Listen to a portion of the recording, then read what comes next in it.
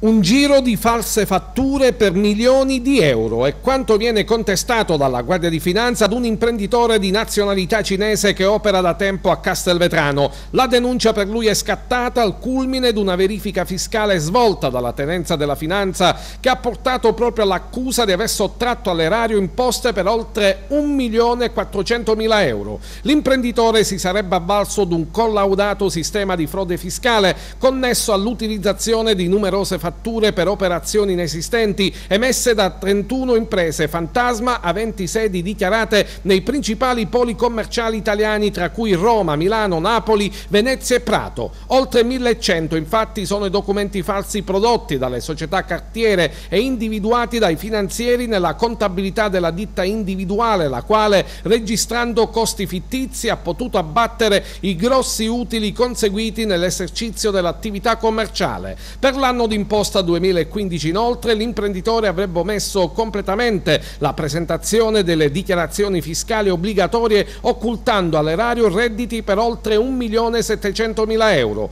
In nero anche la manodopera. All'interno dell'area commerciale di oltre 2.100 metri quadrati infatti i finanzieri all'atto dell'inizio della verifica fiscale avevano individuato quattro commessi privi di qualsivoglia contratto di lavoro mentre altri sette ne erano stati scoperti in precedenti controlli controlli ispettivi. In tutto sono 32 le persone denunciate.